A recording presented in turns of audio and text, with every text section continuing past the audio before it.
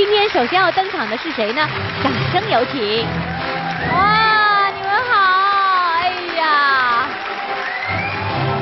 你们好，到这里来，大秦你好。你好，你好，欢迎。你好，小琴你好，啊，芳姐好，好久不见你了呀！见到你特别亲切，你怎么还那么美呢呀是？吗？你想我多一点，还是想他多一点呢？都想啊，如果只能选一个人想，你会想谁呢？不要这么为难我。其实，大婷和小琴上了我们的节目之后，突然有一天就成了网络头条，对不对？对嗯那一期节目，一期大王小王节目，在网络上点击超过了一点五个亿呀！谢谢大家，是你，们知道你们被点击了一个多亿吗？没有想到，这是这么多年来很少有的。是的，而且多么正能量的一个故事啊！嗯他们的故事到底是什么样的呢？我们通过大屏幕来了解一下。二零一五年四月一日，小玉和伟华做客《大王小王》。小玉身高七十七厘米，在我生下来的时候，我就跟正常的女小孩不一样。伟华身高一米七七，身高相差将近一米的他们，从网友成为了恋人。平时在家里边不能做是吧？不能做。来，哎，他们相恋五年，就在即将领证结婚的时候，小玉却突然提出分手。我是坚决的分手，不，我不能分手。我真的想让他俩分手。被骗多少钱？一百六十多万，这个房子也押了出去了。两人再次来到大王小王的时候，已经成功领了结婚证。哦，我听说你们俩现在还有一件大事儿，有房子了。对啊，花了将近不到十万块钱。二零一五年六月三日，大秦和小秦结为夫妻。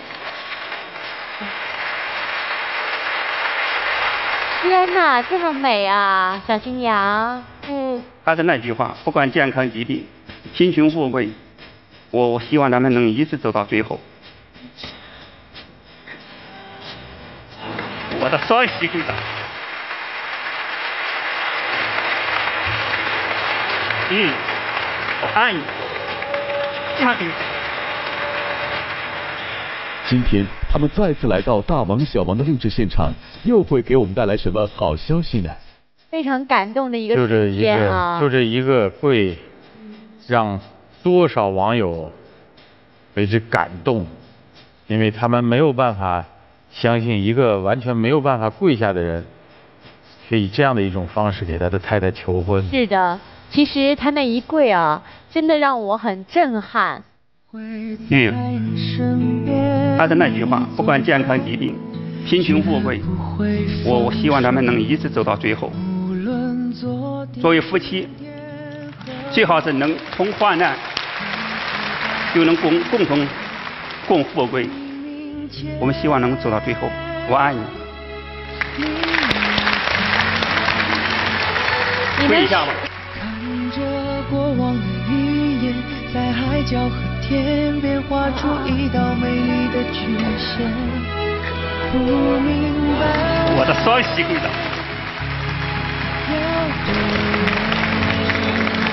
嗯，我爱你。嫁给我。和过往的云烟，却抹不掉对你的思念。我不会走，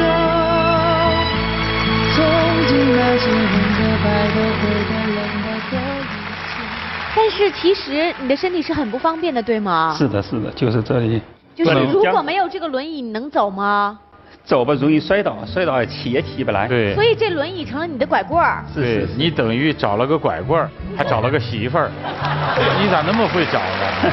那如果你要找不着这个媳妇儿，找不着这个拐棍儿，其实你走路还是不方便的。是的，是的，很不方便。哦，而且当时你说你的身高是多少来着？十八厘米，七十八，你是一米七八，整整相差一米啊！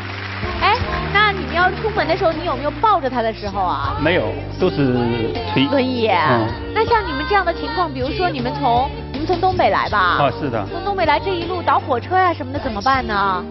呃，对，坐坐出租车的时候是抱一下，把它抱着放在位置上。嗯，所以也就是说，可能所有的过程你都需要人家帮你。对，你自己的身体哪里能运动？胳膊，胳膊胳膊，腿呢动不了。能动，但是站着是不行。你这个是什么疾病啊？我是我妈那个怀孕我的时候打保胎针打的。哎呀，太可怜了啊！上次妈妈也来了，对不对？对妈妈现在对你们俩的生活放心了吗？嗯，怎么说呢？当父母多少的还是有些担心吧。嗯但是我会让他们放心的。请问一年半的时对，间啊一，年半。你们的生活有什么样的变化吗？快给大家显摆显摆。呃，我的变化呢，首先呢是非常感谢我们大王小王的帮助，然后让我的变化就是说越来越好。啊、第二期的节目呢，也是给大家公布了我自己所买的房子，买一个楼房，一楼的，这是你们自己的房子，花了多少钱呢，亲爱的？花将近不到十万块钱。然后现在呢，我来给大家公布呢，就是说，呃，我自己的房贷已经全部还清了。都是靠你们自己吗？对。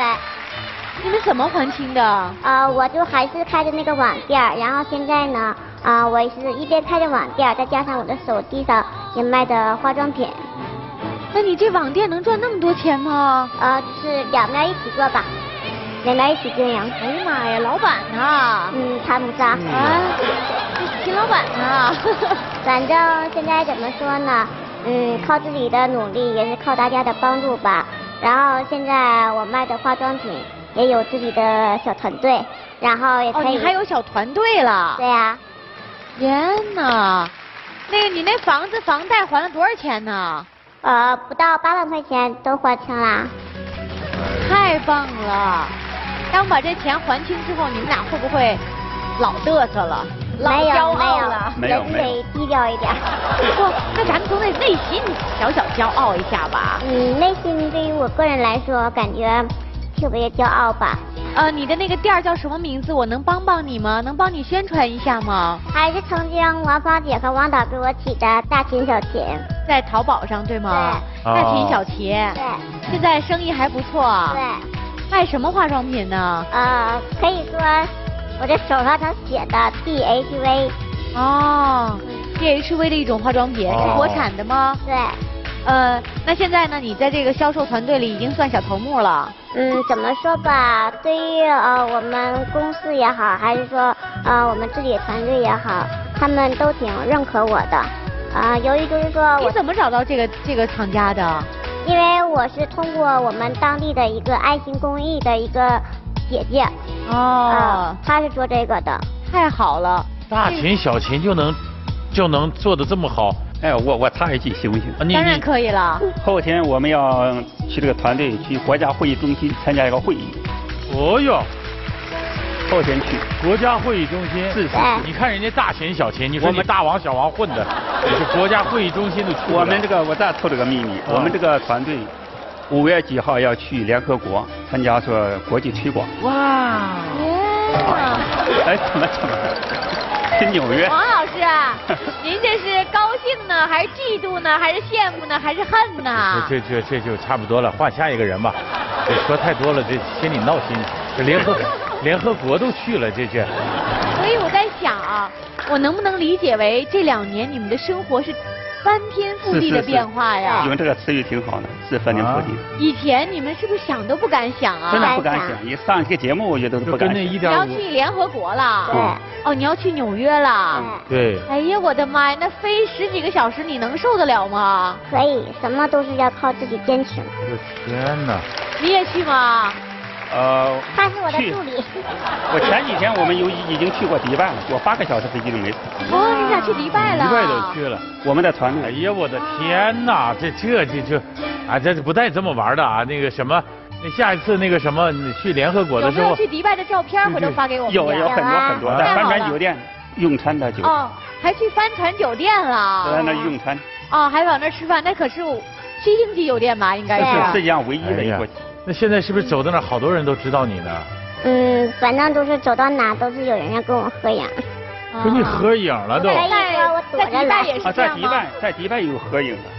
啊，他们看过你的视频是吗？怪哎呀，我也能推轮椅，你就就让你老公歇歇，我推着你去。而且，啊王老师，您要是推着小琴的话呢，您这身高还差一百零五个厘米呢，你还要高出五个厘米呢。对呀、我就这这大胖小琴，第一次出国吧？不是第一次出国，我们去曼谷，哦，曼谷、泰国是吧？呃，泰国去旅游哎呀，了六您。这两年没少跑啊。呃，五月二十三号，今年五月二十三号去的曼谷，曼谷。然后这次又去迪拜了。哦，是十一月二十，是十一月二十二号去了迪。拜还是也去了阿布扎比啊？哦，去了阿布扎比的阿布扎比清真寺。就带的是这个轮椅吗？哦，是是出国都带这个小轮椅。哦那会不会那些乘务员什么的都特别的哦呃关照你啊？对，特别是，的到哪个国家都有绿色通道，我们都是优先的。哎，我突然觉得时光像倒流啊！一年半以前他们来录节目的时候，正是他们人生的最低谷。还苦哈哈的呢。对，因为他们当时有外债，我记得是吧？对哦，有外有外债，然后呢，妈妈又反对他们俩的婚事，就是一切不顺利。嗯他一说起来又掉眼泪。嗯一年半以后，人家都世界各地周游了。是不是？哎呦真的我现在连通州都没时间去。我们那个团队发的衣服就是这样，上面写个环球之旅，第一站、第二、第三站，我们现在走到第三站了。下一站就去纽约了。亲爱的，可以啊！到纽约的时候，别忘了给我发点照片来啊！我为你骄傲，为你自豪啊！啊所以我今天就是说，嗯、想对电视机前的各位，就是像我们这样产地的朋友，啊、不要为自己而自卑。人怎么说呢？没有十全十美的，嗯只要咱们有一个健康的心，有一个聪明的头脑，一样可以活出自己的一片天。哎呀，太好了！啊其实我真的觉得，一个这么正能量的故事放在腾讯头条，点出一点五个亿来，这就说明我们中国人，我们需要这样的一种正能量的故事，我们需要他们这样的生活态度。是的，啊所以我也希望你们越来越好。过两天去国家会议中心，赶紧的啊！好然后我会到你的这个网店里再多买一点儿，呃，送给大家。然后希望你这个月的销量更好，好吗？谢谢王芳姐。呃，在淘宝大秦小秦的呃网店中，希望大家能够支持大秦小秦。可能你每买一份东西，对他们来说，就让他们的生活质量更好。我希望他们俩就这样携手，真的能够周游世界。祝贺你们哈！谢谢谢谢好的，呃，给大家拜个年吧。好的，然后在这里呢，我们夫妻二人祝所有朋友们身体健康，万事如意，每天都有一份好心情。大王小王的观众朋友们，大家好，我是来自山东枣庄的辣子鸡姐李大翠，我是李二岁，我是新晚宫郑宇轩。在这里祝愿所有的观众朋友们在新的一年里，今年行大运，大吉大利。心想事成，万事如意。下一位嘉宾到底是谁呢？咱们掌声有请。大家好，我是一个普通的爱唱歌的服务人员，大家猜一下我是谁？来，请看大屏幕，到底是谁？是谁？王老师，这回肯定是我说的倒二，就是下面的嗯，倒数第二个，对吗？。对，来，掌声有请。哇，亲爱的，新年好啊！王姐好，你好，新年好。你好王姐你好你这根本就不用戴面具呀！我跟你说啊，你就算弄成啥样，我都能够一眼看出你。不过这面具好漂亮啊是吗？！谢谢。对呀，感觉特别美。先给大家拜个年。大家好，我是快递小妹季佳，非常开心在二零一七年的新春佳节再次来到我们这个舞台，祝大家鸡年大吉，万事如意。哇，来来来，把这摘下来啊，很漂亮。呃，季佳呀，我跟你说，我是多么的少看电视的一个人啊。有一天呢，我大概七八点钟吧回家，就随便一调台啊，就竟然看到你在录《星光大道》。对，然后我当时说，哎，我说怎么这这也没告我一声啊？我就拍了张照片发到了我们的工作群里。哎呦，大家都为你高兴，为你骄傲啊！怎么样？那天成绩还不错吧？呃，还可以吧，因为我觉得能上那样的舞台也是一个很大的挑战了。对呀、对，季佳第一次来的时候猛哭，你还记得吗？记得，呃，那是在去年的这个时候，跟现在只差三天，哦，十二月吗？也是啊。十二月二十六号。对，那个时候好像你的人生是灰色的一样。对，那时候就是觉得没有什么方向，然后就是所有人都在反对我，只有我一个人在坚持这样。最重要的是跟老公分居了，我记得。对，是。嗯。呃，就是因为唱歌这件事儿嘛，然后他觉得有点儿不务正业，就是挺反感的。嗯。呃，就是因为一次演出，然后他说不叫我去，然后就他就回家了，回老家了。嗯。呃，然后来这的时候应该是。对。来这的时候应该是已经有分居了有一个多月的时间，就俩人没见面。后来呢，我们就记者就想去拍一下她老公，结果你还记得吗？记得。然后她老公说，再拍，再拍，再拍，给我们记者吓懵了，说这季家找一啥人呢？这是。但其实后来发现他特别好，我们可以看一下当时的情况。我现在是一名快递员。我亲爱二零一五年十二月二十六号，快递员季佳来到大王小王的舞台一展歌喉。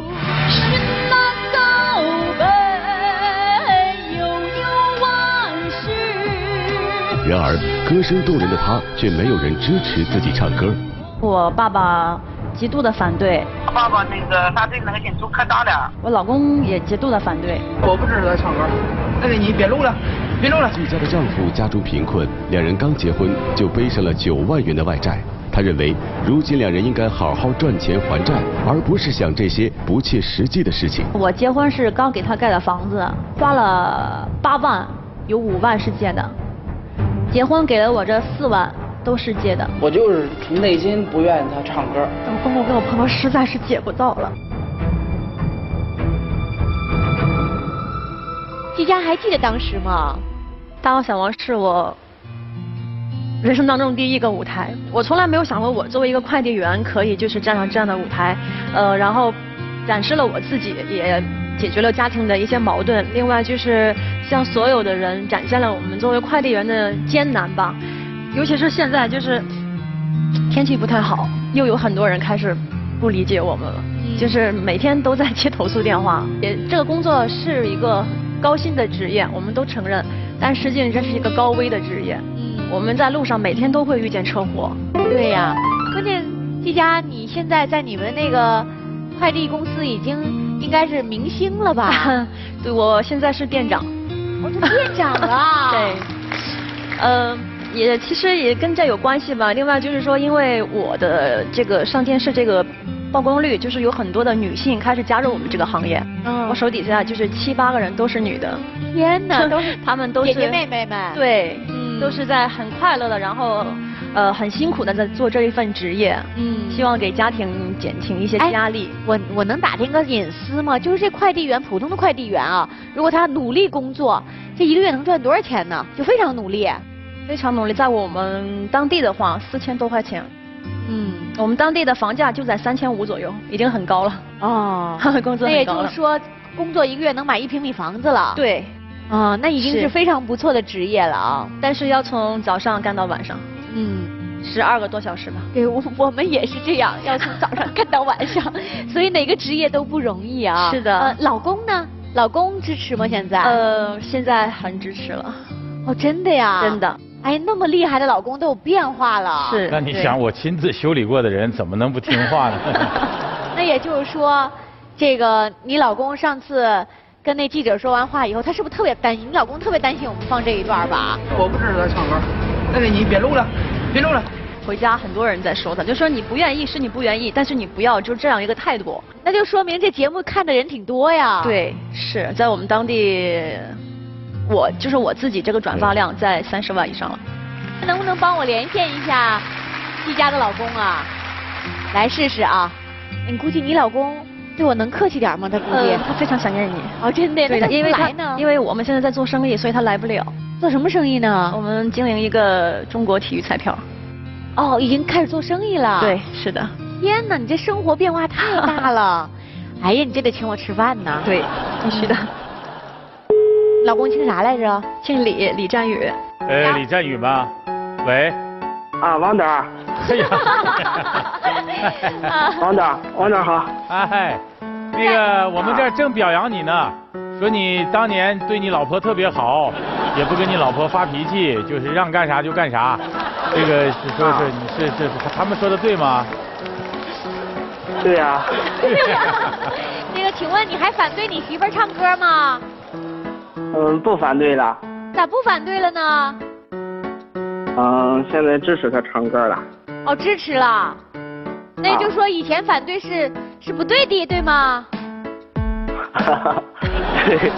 我今天我们那个上次被你训一通那摄像还在这等你着呢，说你准备请他喝酒呢，你也没来。啊，还等着呢。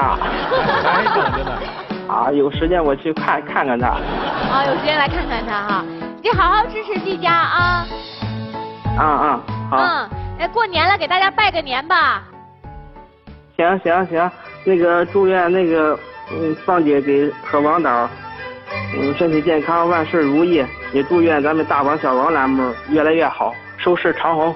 谢谢，哎呦，还嘴都会说了，谢谢，好的，谢谢，谢谢你，谢谢，哎，再见，嗯，哎，你老公现在可以啊？呃，就是做这生意之后可能会提高一下他的交际能力，就是他以前是确实是太不爱说了。哎，季佳，你现在有没有一些演出了呀？呃，有很多来找我的，但是我还是在就是听我爸爸的话，然后再坚持我这一份职业，就是除了做节目，我就是上班。你坚持你工作没问题，但是我觉得你也应该多出来唱唱歌，因为你唱的很好。谢谢。呃，今天为我们大家带来一首什么歌？呃，今天带来是一首《追梦赤子心》。好，来。充满鲜花的世界到底在哪里？如果它真的存在，那么我一定会去。我想在那里最高的山峰伫立，不在乎它是不是悬崖峭壁。也许我没有天分，但我有梦的天真，我将会去证明，用我的一生。也许我手比较笨。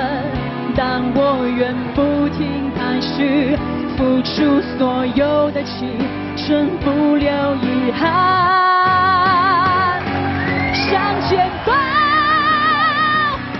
的冷眼和嘲笑生命的闪耀不离寂寞难怎能看到命运它无法让我们跪地求饶就算鲜血洒满了怀抱继续跑带着赤子的骄傲生命的闪耀，不坚持到底，怎能看到？与其苟延残喘，不如纵情燃烧吧，有一天会再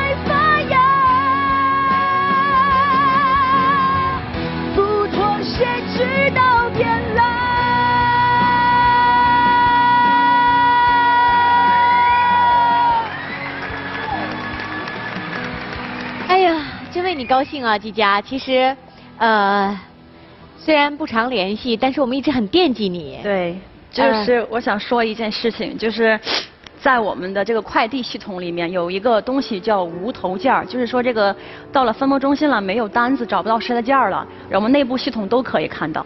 然后有一天我在帮客户找件的时候，我突然就看到了芳姐的书。你知道当时我那种心情，就是我觉得，嗯。好像你一直就在我身边，一直鼓励着我。因为如果没有大王小王，就没有现在的我，所以我特别的感激你。对不起。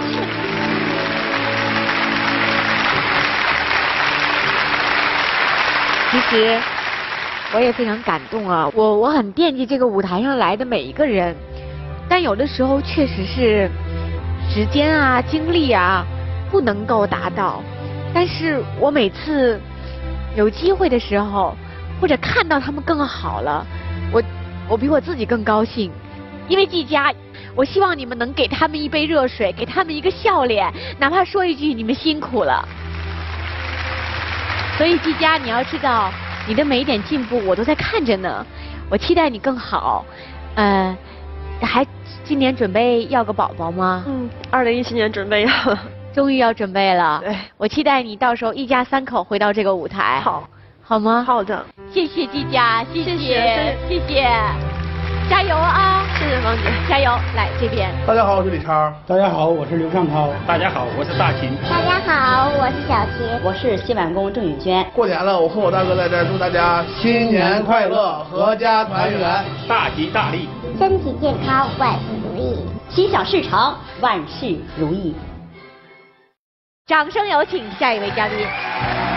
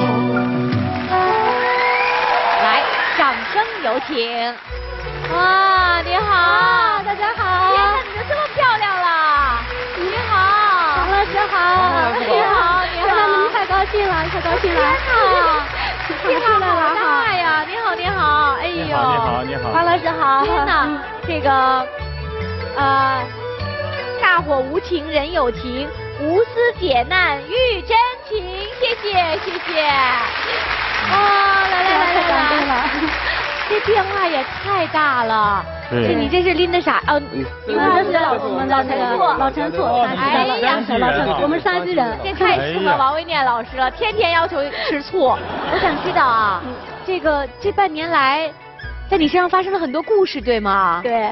可能电视机前的观众朋友们不知道我们在说什么啊，我们先通过一段短片来看一看当时的情况，你就知道我为什么这么感动了哈。来，请坐。二零一六年九月，李素芳一家人来到了大王小王。她一家非常自信，特别漂亮。这个能干吧？以前？能干，刚刚吃苦。两年前的意外烧伤，彻底改变了素芳的生活。摸了一下你的胳膊啊，整个都是硬的，长了这么多，这个就伸不起。那合上也合不上吗？合不上。我会拿着一本书或者一个本子在遮别人的耳目，别人那个异样的眼神我就接受不了。烧伤后的李素芳情绪十分不稳定，并将自己的情绪转到了丈夫身上。他也不让我回去，经常跟我提出离婚。你就不打算活着了？是我恨死自己了。但丈夫始终不离不弃。你是非常坚定的对这份爱情，非常非常坚定，哪怕他掺了植物人，我都不离开他。消沉了两年的他，经过主持和专家的劝说，在大王小王重新找回了自信。我从大王小王回去之后，一定变个人，一定给你个很完美、很完美的老婆。终于等到你，还好我没放弃。我非常有气。幸福来的好不容易。为了帮助杜芳，我们还送给了她一份礼物。在北京有一家非常好的医院，愿意接纳你。谢谢。四个月过去了，素芳有着怎样的变化呢？大家不知道有没有注意到啊？当时呢，她在跟她丈夫拥抱的时候，是哪只手？左手是吧？左手。她永远手里都拿一张纸，为什么呢？因为她的手当时是这样的，她动不了，永远都拿本书或者拿一张纸，来掩盖她胳膊不能动的这样对对，就是她感觉别人看不出来啊，也就是这个姿势。他可他是做火疗自己，没有做好啊。大家看到他的手，看他手里永远拿一个这个东西。你当时情况好严重吧？特别严重，嗯，而且老是老是自杀、寻死觅活的，你当然也不得安息。你想想当时和现在简直是，哎呀，我感觉就是完全变了一个，完全变了。对对对对。胳膊上的这个痕迹也取了小好了很多吗？嗯，你你这是二次治疗。嗯嗯，但是先把这个好了呀，这个功能都好了，还有这的这一部分还得有一次治疗是吧？对对对，这边还得有一次治疗。哦。但是这个功能都恢复了，已经是。哎特别的保持。是全部免费吗？全部免费。哦，太感谢了。这个治疗至少得二十万。对，至少得二十万。超的二十万，至少得二十万。嗯，全部免费做的，全部免费做的。你这个胳膊完全没事了啊？啊，这个功能上是完全没事了，洗脸、洗头发都可以。哎呀，天哪！我觉得既然你做了这么好的事情，既然感谢人家，对，一定得感谢。对，我们做了一个短片，我们去看一下哈。节目录制后，编导就带着素芳来到了医院进行检查。了解了素芳的故事后，这家医院提出可以免费为她进行手术。啊，就刚才看了你这个伤以后啊，嗯，整个这个伤情呢比较重。我们要是给你做完以后，能把这个松解到这个，起码是最后自己都可以解自己解决。一个月后，素芳再次来到了北京，并在二零一六年十月十八日上午八点三十分接受手术。身上什么也别带啊。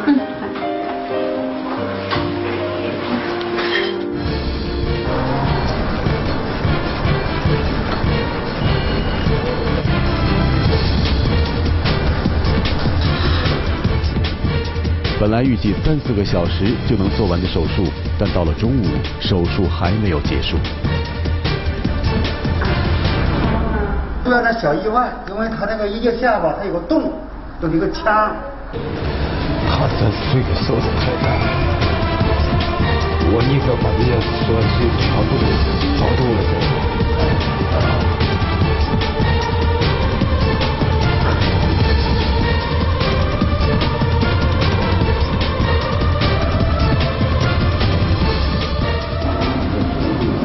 到你那出来了